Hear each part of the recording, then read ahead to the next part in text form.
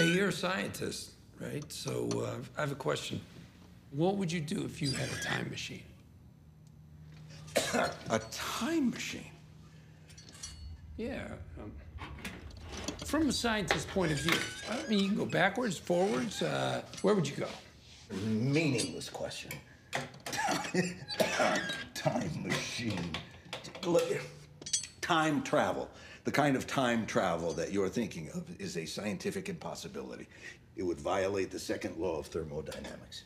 Uh, but what about a wormhole? Oh, Well, I was watching Nova, and Alan Alda seemed to think. oh, well then, Alan Alda, he's the expert. Oh, Christ, are you kidding me?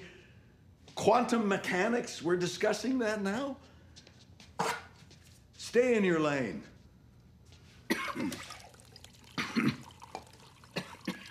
It's just a thought experiment. There's got to be something you'd go back and change if you could.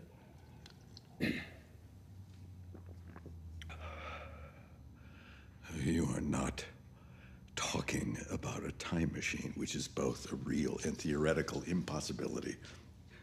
You are talking about regrets. So if you want to ask about regrets, just ask about regrets and leave all this time traveling nonsense out of it. Okay,